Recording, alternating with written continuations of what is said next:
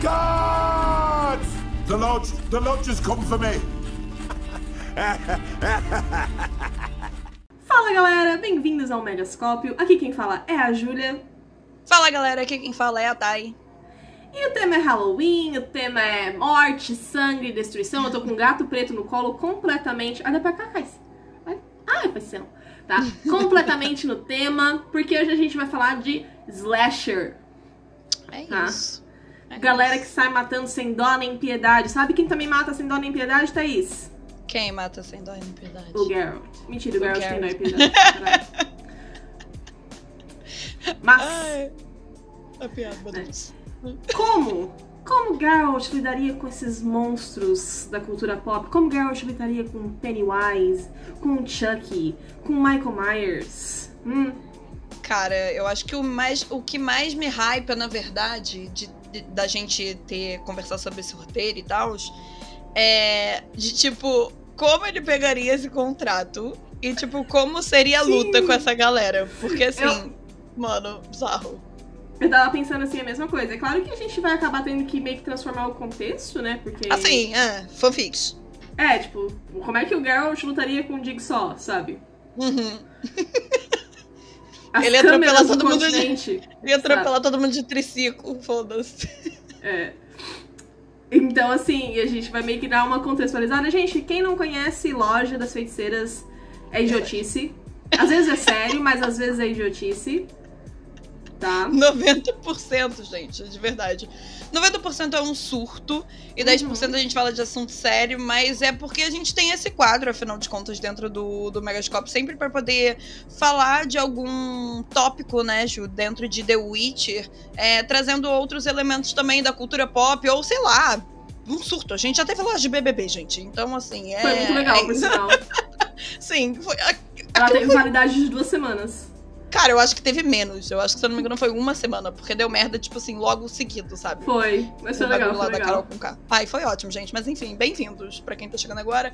Pra quem já é old school aí, já tá com a gente há muito tempo, obrigada é, desde já por vocês estarem assistindo. Essa loucura, pra quem tá escutando só isso lá nos serviços aí de, de áudios aí da vida. Tem um pulinho também no YouTube se vocês quiserem ver a nossa caritia, o nosso surto, os gatos da Ju. O Apolo quase não passa aqui, mas Aqui, Tem gente, foto o, também? o Cass tá muito maravilhoso de fofo. tá? Eu suspeito que ele esteja com fome, mas ele tá muito gostosinho. É sobre isso. ele não passa fome, gente. Ele só tá com fome agora. Atenção. Quem tem gato sabe exatamente do que eu tô falando, tá? Então gato pronto, tá é. sempre com fome, isso é um estado perpétuo. tá? Tipo eu. Mas enfim, Isso. é. É isso, gente. É... Pra quem chegou aí, dedinho no like. Pra quem tá só escutando, vem pro YouTube também. E let's Ou go. deixa o coraçãozinho aí onde você está. Enfim, gente, assim, apoiem o Mega como vocês puderem, no site, redes sociais, e é isso. Vamos falar de Geralt matando gente. Gente idiota, gente burra, gente foda, não sei. É, o gênero slasher é uma parada meio.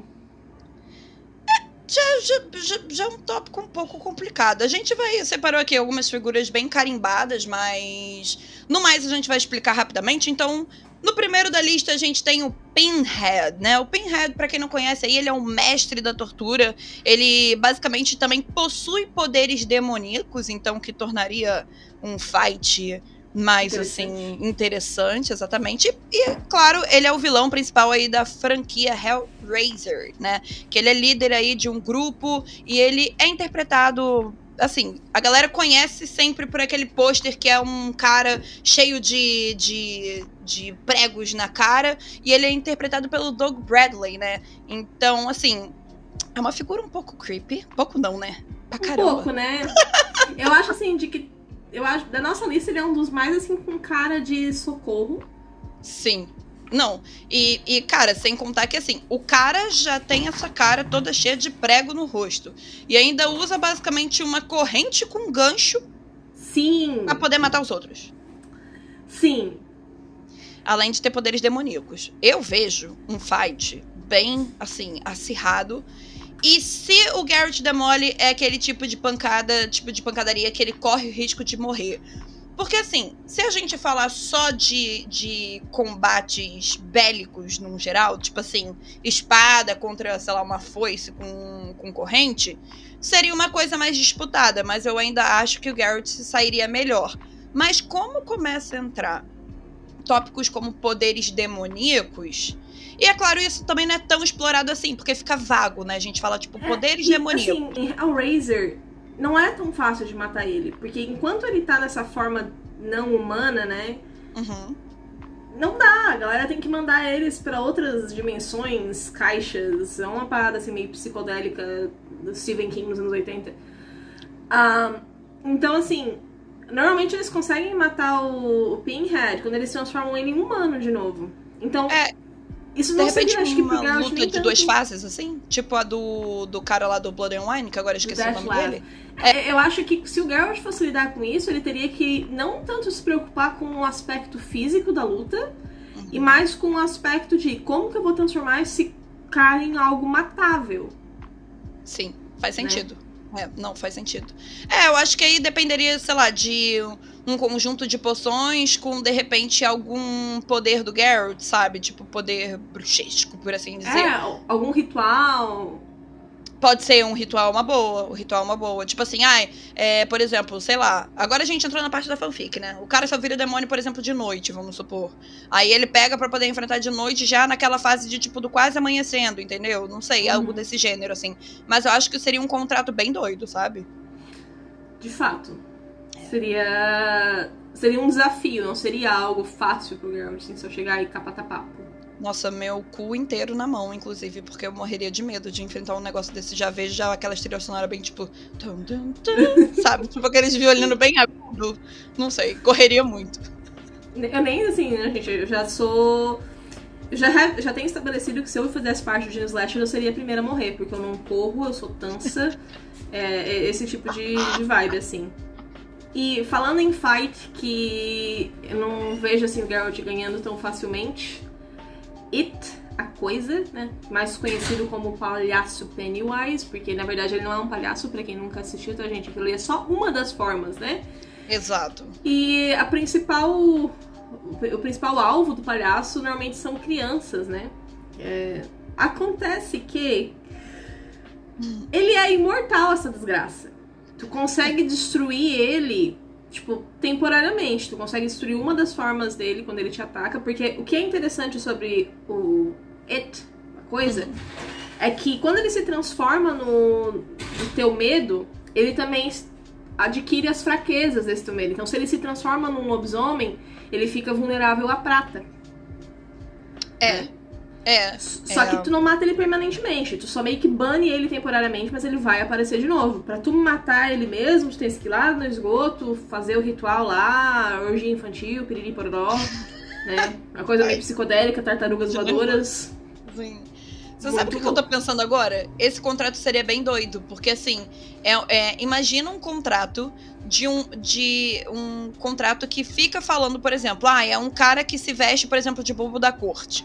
Aí depois de alguns anos tem esse um, um- um mesmo cara com esse mesmo modus operandi, só que, sei lá, ele é um bicho, sabe? Tipo um lobisomem.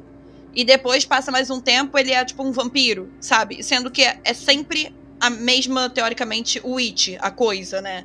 Então, eu acho que seria um contrato que se estenderia ao longo de anos e o Garrett meio que já poderia ter enfrentado ele, sabe? Sim, uma coisa que o Garrett meio que fica, tipo, repetidamente lutando contra ele, achando que ganhou, sem ter consciência de que É, que é ele, entendeu? É, não, isso é uma parada bem, bem legal de se pensar mesmo. É, a, a questão é justamente essa, tipo, o Geralt teria conhecimento disso, porque uma situação que a gente poderia imaginar é o ele aparecendo pra Siri quando criança, né? Putz, seria doido. Se eu imagino que ele se transformaria no Cahir, né? no carrinho. No, Sim. no Cavaleiro do Almalado e tal, que na, na época, quando a Siri era criança, ela tinha esse medo gigantesco. E aí o Geralt mataria com certa facilidade, né? Porque Justo. seria o Cahir. É, aí depois Né? que o bagulho fica doido. Aí, né? Isso, só que aí eu acho que aqui o Geralt teria um. Pera, não, não foi só um lobisomem, não foi só um bobo da corte meio macabro, Sim, né?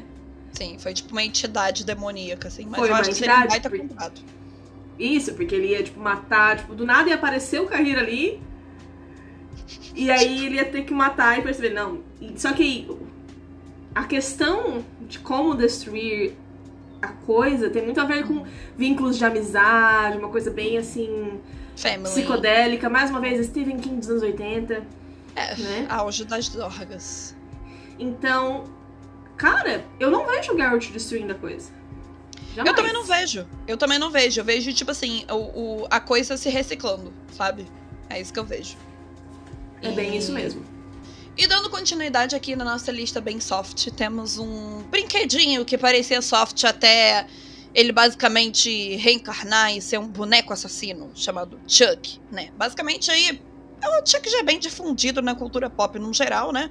Mas pra quem não sabe, é basicamente o assassino aí Charles Lee Ray, né? Que ele é tipo morto pela polícia e basicamente tipo assim, antes dele ser morto, ele usa a arte do voodoo, né?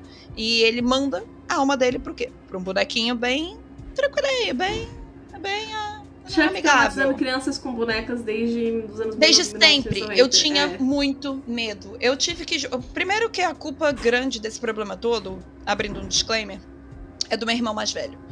É, ele Cara, sempre. irmão mais velho. Uhum. Cara, porra, que ódio. Eu tinha muito medo de boneco por causa do, do meu irmão. E assim, eu tinha aquelas boneconas da Sandy, tá ligado? E, eu- e tinha. Existia conspiração nos anos 2000, no início dos anos 2000, que, tipo, tinha aquela boneca da Xuxa, o boneco do fofão que tinha uma faca, sabe? Essas paradas bem doidas. Era o auge do surto de ser boneco assassino, sabe? Eu tinha uma boneca gigante da Eliana que eu tranquei no armário porque a filha da minha madrasta, que Ah. todos os fins era minha irmã mais velha no tempo, disse que ela ia acordar de noite e matar nosso cachorro. Sim! Cara, eu tinha uma boneca da Sandy que também era aquela grandona. E, e assim, meu irmão cismava de falar que. Aí ela vai tocar aquele CDzinho e. Sabe? Não sei. Trauma, gente. Eu- eu- aí eu morria de medo de boneca no geral. Que eu sinto que fazer contato visual com boneca mata os outros por dentro, sabe? Mas Eu até hoje não gosto de boneca grande. Eu, eu tenho coleção de boneca que a gente chama de fashion dolls, né? Que são bonecas Aham. pequenas, Barbie, Monster High, Ever After High. Só que é pequena. Tipo, bonecão assim, bebê, eu já fico, Deus me livre. Não. É, Deus me Tá, vai de livre. reto, sai daqui. Tá com a maguinha benta. Não, gente, momento completamente saindo numa tangente, Aham. mas eu trabalhei por anos em loja de brinquedo. Caralho, que loucura, eu não sabia disso. Gente, mil anos conhecendo a Ju e eu não sabia disso. Ah. Trabalhei por anos em loja de brinquedo. Caralho, e diferentes lojas, inclusive, né? Cara, como assim? Caraca, eu morrer sem saber disso. Pois é. E tinha, tenho, te- tenho muitas histórias bizarras de brinquedo, tá? Uma delas é com o Buzz Lightyear, que eu que abri a loja, e uma vez eu cheguei na loja e o Buzz Lightyear tava falando. E até hoje eu não consigo ver, tipo, comando estelar, eu não, brinquedo tava com defeito, tá, gente? Ele deu um pinipaque, mas foi meio, tipo assim, tu, ab- tu abre a loja e Ju, na ah, verdade, Buzz eles estavam Lightyear se brin... apresentando para o comando estelar, eu tava... eles estavam brincando dentro da loja enquanto você não Gente. tava lá. É, E outra é, foi uma Baby Alive que começava a falar sozinha no estoque quando a gente passava, porque ela tinha aquele sensor de movimento. Credo, credo, credo, credo. Aí tu credo, imagina credo, assim, ó, credo. o, o, o estoque era no segundo andar, tudo escuro, tu sozinha lá. Brinca comigo, mamãe! Eu ficava. Deus de boneca da desgraça! Enfim. Meu Deus. Nossa, mas nunca, nunca na minha vida. Eu ia chutar a boneca. Nossa, assim, e, e- e voltando pro fight do Garrett, eu vejo o Garrett matando é, é, o. Chuck até. É, tipo, é um, é um, seria um contrato normal. Mas seria tipo pique assim, Jane do Bosch, que eu tinha medo, sabe? Vai, tipo, criar assim, um clima super tenso. O Chuckzinho vai ser pequenininho, entendeu? Tipo, vai ser um boneco que tu vai ficar com medo naquela luta porque você vai ficar desesperado. Mas o Garrett mata, sabe? É, porque, gente, o Chuck só. ni- Ninguém mata o Chuck porque as galera é incompetente. Não, é, Não. é, é tudo incompetente. Vamos ser bem sinceros, assim, porque não tem nada que diga que ele não pode morrer. Não, é. Pelo é menos porque- que eu me lembro. Faz muito. Gente, assim, pela sua conversa, você já deve ter percebido que eu e a Thay não somos exatamente fãs disso aqui. então, né? Temos motivo para Tá. isso. Mas, tipo assim, a- as grandes, os grandes assassinatos do Chuck era justamente porque a galera não suspeitava que ele era. E aí ele ia lá e. Matava. Exato. Isso, Exato, exato. tá? Mas enfim, eu acho que seria uma. Porque o Garrett tem, tipo, velocidade sobre-humana, força sobre-humana, então pra ele seria facilzinho. Ah, sim, teria também, se a gente levasse pro âmbito de jogo, né? Teria como colocar aquela trap no chão, sabe? Pra poder Sim. prender. Porque afinal de contas ele é um voodoo, tipo, é uma alma presa ali, né? Trap it with the Yurden! Enfim. Enfim.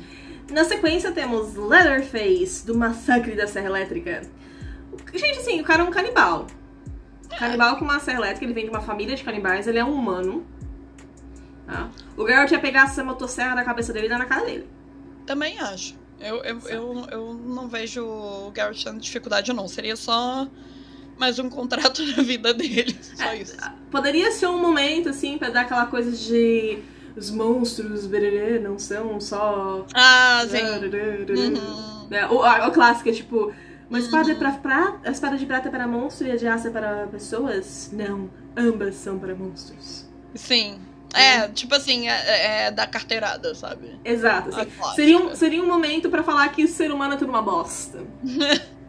Eu vejo esse momento, inclusive, acontecendo no jogo. Uhum. Mas seria tipo, o Geralt dá uma facadinha e acabou. É, eu também não vejo. Hum, Inclusive, eu acho que seria um contrato barato, sabe? Não sei. Nem sei nem se eu pegaria esse Tem contrato. contrato, sei, o entra na rua Ah. e vê umas, crianças- umas, umas adolescentes assim com sem braço passando. Assim, hum. É, é, seria aquela parada que você sairia da plótica carpeada ou qualquer que seja o nome, e pularia e Isso. mataria e depois voltaria. É isso. É isso. Mas continuando a lista aqui, a gente tem o Jigsaw. O Jigsaw nada mais é do que o bonequinho dos Jogos Mortais. E a gente, é, é, abrindo outro off-topic aqui, eu e a Ju, a gente tava numa discussão pra poder saber o que que era, e na verdade ele só é um serial killer mesmo. Então, assim, ele... É uma Doente. dizer que eu nunca vi jogos mortais. Eu já tentei ver alguns, alguns são creepy, outros são Nunca tipo, tá, meio merda. Mas assim, o maluco é só um serial killer, sabe? É, ele só é mais um assassino. Então eu também. Eu vejo de tipo assim, basicamente esse bonequinho, né? O, o boneco não, né? O Jigsaw. É, ele basicamente montando uma rede de assassinos e ele comandando, sabe? Tipo, esses jogos mortais que, por exemplo, ele poderia fazer dentro de um vilarejo. Então ele não seria, tipo, mais um, uma luta difícil, mas sim um cara filho da puta, sabe? O, o que eu. Justamente o que tu falou que eu ia falar. Eu não acho que a questão aqui seria a luta. A questão é que o Jigsaw é muito inteligente. Exato, seria tipo Ele uma é- missão. Ele é muito ardiloso, ele tem uns esquemas assim. Que não é fácil de achar ele pra matar ele. Assim, a partir do momento que o Geralt encontrar ele, é, catapum, catapau, cabeça caída no chão, já era. Né? Um filho da puta júnior, sabe? É tipo, corre com o triciclo, corre, filho da puta. Sabe? Sim. Pra mim seria, seria nesse pique daí. Também não vejo dificuldade, não, mas eu acredito que seria mais uma missão que você, tipo, sei lá, sabe, do barão. Que você tem que ir, voltar aí, voltar, fazer um monte de coisa pra poder descobrir realmente quem é. Sabe? que tá seria mais a questão. Seria mais uma, uma investigação do Isso. que uma luta em si. Isso, isso. Tipo, diferentemente do, do, do cara do massacre da carro elétrica. Da, da elétrica. da serra elétrica. Sim. É, tipo, o cara não é difícil de achar. Ele é um canibal burro que você consegue, você consegue cortar. Não é burro, né? Ele é tipo, mais. Mas é um doente. adolescentes. É, ele é um psicopata, assim. É um então psicopata, não é sabe? difícil de achar. O Jigsaw também é um psicopata, só que ele é um psicopata fácil, tipo, difícil de achar. É, ele é inteligente. Ele é inteligente. Ele não, não é só pelo massacre. Ele tem os jogos emocionais ali de querer papapá. É, ele é um real filho da puta, assim. Que pensa. É isso. Isso. Isso mesmo. Agora eu acho que outra que é um dos mais difíceis da lista, que é o famoso Freddy Krueger, né? De A Hora do Pesadelo, Nightmare on Elm Street. Assim, gente, quem nunca, né? Um, dois, três. Clássico, clássico, clássico, Né? clássico. Claramente eu sei cantar, como vocês viram, né? Mas assim, o cara era um psicopata em vida, ele foi queimado vivo pelos pais das crianças que ele matava, e aí ele voltou do inferno Bem pra tranquilo. ficar matando as pessoas nos sonhos deles, né? Por isso que ele é conhecido como o Lorde dos Pesadelos, Senhor dos Sonhos. E o Freddy Krueger em diferentes filmes é morto de diferentes formas, inclusive ele pode ser morto pelo amor verdadeiro. Disney corre aqui, Ah, sabe? Então é difícil de prever qual seria o método que o Geralt escolheria, apesar de que eu posso dizer com muita convicção que não seria o beijo do amor verdadeiro. Nossa, não mesmo. Não, não, esquece. Eu, eu não faço ideia de como Garrett mataria ele. E eu vejo ele como, sei lá, uma possessão? Não, nem possessão. Sei lá, um demônio? Não sei. É, ele é sei tipo que- Ah, Um capeta dos infernos ali. É, até comparável de certa forma com Gunter Odin, sim. Que é, é mais uma questão de tu vencer ele temporariamente do que matar ele definitivamente. Sabe? Sim. Porque um dos formas que dá pra derrotar ele é, tipo, enfrentando o próprio medo. O que seria o próprio medo do Geralt? Eu acho que seria, tipo, a Yennefer e a Ciri fudida, assim. É, eu acho que depende da parte da história, né? Tipo assim. É. É, Porque o, o Geralt Geralt não tava teme a morte. É, o Geralt estaria fudido. É, assim, teria que ser uma coisa meio Gaunter assim, destruir ele com um jogo psicológico, uma, uma questão assim, não necessariamente de porrada, mas sim ter que driblar os demônios. Sabe? É, e aparece, começar a aparecer um monte de adolescente morto de formas estranhas que dormiram durante o sono, né? E aí o Geralt fica, não, pera, Sim. Né? E é até que o, o Freddy Krueger entraria na cabeça dele. E aí? Verdade. É, mas seria. Eu, assim. eu não vejo o Geralt matando ele. Tipo, não sei. É, É, é tipo, matando em luta. É, essa aí é realmente difícil. É, não. Se vocês souberem também, ou quiserem dar um palpite, pra galera que tá assistindo isso no YouTube, deixa aí também nos comentários, né? Porque às vezes a gente também fica aqui conversando e tal, e às vezes vocês têm, tipo, cabeça mirabolante aí pra poder assassinar o Fred Krueger e a gente não sabe. Mas eu acho que realmente o método que seria, tipo, teria que enfrentar o próprio medo e vencer. Mas bom. Isso. E o nosso próximo da lista é o Michael Myers, né? Que também é um assassino. é basicamente o cara aí é conhecido por assassinar a irmã dele, que era adolescente com seis anos. Então, assim, é, ele escapou depois de, de ter cometido esse crime barra assassinato. é, onde ele tava, tipo, todo ferrado, tava internado e tal, e ele resolveu voltar pra cidade dele natal pra fazer o quê? Matar mais adolescente. É, é, é um. Cara, é um serial killer. Só que a questão do Michael Myers Hum. é que o filho da puta não morre. tá? Então, É. Eu acho que convém a gente falar do Jason também, que é o nosso último na lista, porque o Michael Myers e o Jason acabam sendo a mesma categoria de coisas, sim. né? Uhum. Porque também, tipo, o Jason é, tá, tá aqui com o Michael Myers, né? Ele é um assassino também de, de adolescentes. Quem era a verdadeira assassina a princípio era a mãe dele, né? A, Sim. A Pamela. E aí ele virou um assassino e ele é conhecido pela máscara lá de rock, a faca, a sua fa- facão e tal. Faquinha. aham. Só que o filho da puta não morre. Tipo, tanto Michael Myers quanto Jason levam facada no olho, levam, tipo, de- são Em tudo que é canto. é, fa- tipo, machado no peito e eles não morrem. Real. É, assim, eu. Eu também não vejo, tipo, o Garrett matando ele, porque, novamente, ele não morre. Eu acho que teria que aprisionar ele. Sabe? É, ou tipo, eu não já tentaram incinerar o Michael Myers e o Jason? Eu acho que se Fica a pá, já, pergunta pra quem já viu todos, porque tem 500 filmes de Halloween e Sexta-feira 13. Não, pra caralho. Então, é. ah, inclusive, Michael Myers era o, o que eu mais tinha medo quando eu era adolescente. Eu vi na casa de uma amiga minha. Ela Uhum. morava numa, tipo, um casarão, assim, não era bem uma mansão, mas sabe aquelas casarão assim que tem vidro, janelão assim de sim, e tal? sim, sim. Cara, a gente era muito surtada com aquilo lá. A gente É. saía assim juntas, abraçadas, com medo do Michael Myers aparecer, porque a gente ficou cagadona, assim, com uns 11 anos. Eu gosto, eu gosto dessa, dessa referência principal, porque inclusive, tipo, tem é, é, essa estreia literária do, do Michael Myers, né? Tipo, foi lá em 79, que já tem muito tempo.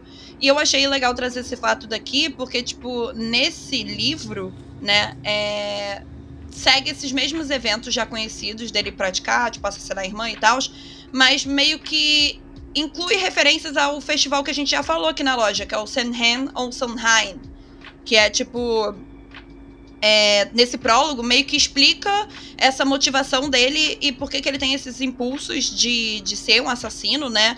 E essa história toda se desenrola no prólogo por causa de uma adolescente que ela, tipo, é uma, é, uma adolescente celta desfigurada, sabe? Que ela, tipo, assassina a princesa que é druida. Então, assim, Pra quem quer procurar, é só procurar aí, tipo, Michael Myers, outubro de 1979, que vai aparecer aí o, o, o livro. E, e faz todo sentido que o nome do, da, da série é Halloween, né? Salve Sim, Halloween, exato, exato, exato. Então, assim, é... traz inclusive coisas de tipo do instinto dele que pode ser, por exemplo, uma coisa mais sexual, que ele sente prazer em assassinar as pessoas, porque geralmente é um perfil da psicopatia do serial killer, né? De é, como não tem proximidade sentimental, não consegue criar vínculos, ele basicamente tem o que a gente sente no prazer e, e afetos e qualquer coisa sentimental cometendo assassinatos, sabe? Por isso que eles, inclusive, costumam guardar partes do corpo e etc. Então, assim, fica aí a recomendação, mas eu só vejo, tipo, o Garrett, voltando agora, né? Eu só vejo o Garrett aprisionando eles para poder tentar derrotar, sabe? Não... É, até pode ser, tipo, que o Michael Myers sempre ataque em Samheim, e aí o Garrett começa a ficar meio desconfiado. Pode ser. E aí ele faz ser. uma armadilha, né? Pode ser. Chama a Yennefer pra tentar botar fogo. Incinera essa merda. É, taca logo fogo nessa merda toda.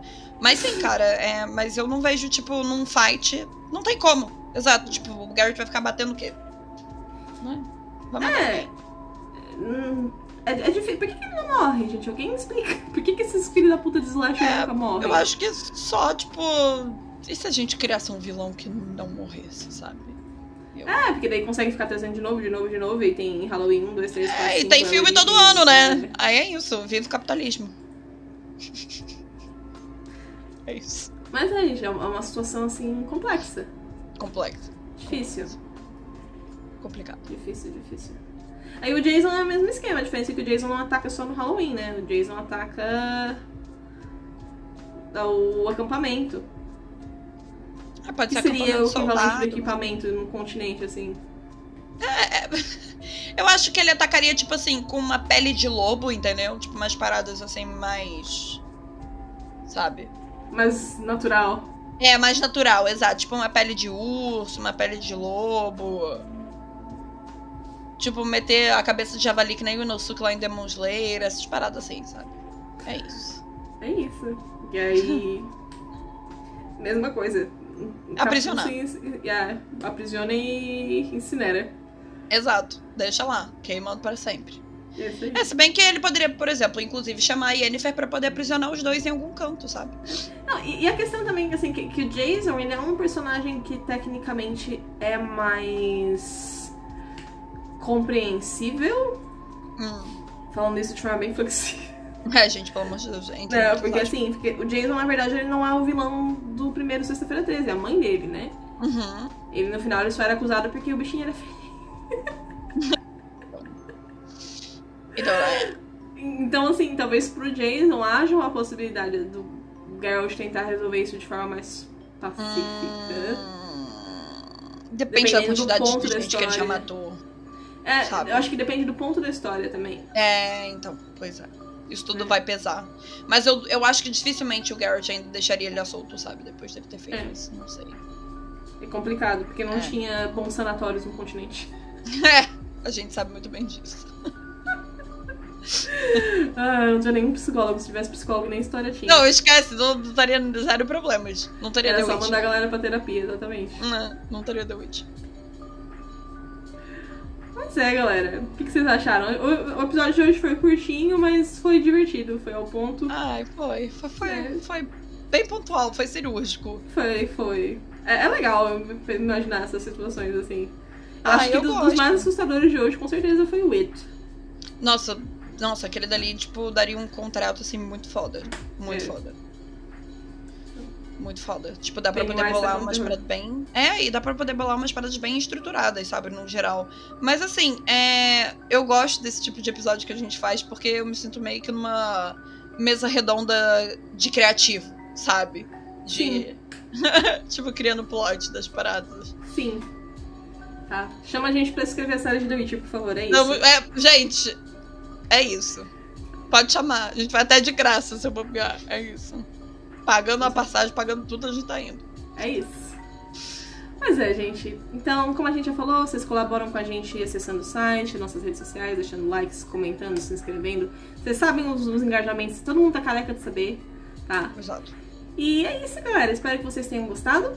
E a gente se vê no próximo mês, no próximo capítulo da Loja das Feiticeiras. Um mega beijo. É isso, gente. Beijo. Não esqueçam também de dar uma olhada lá no padrinho. Beijo, tchau. Beijo, padrinhos. Beijo.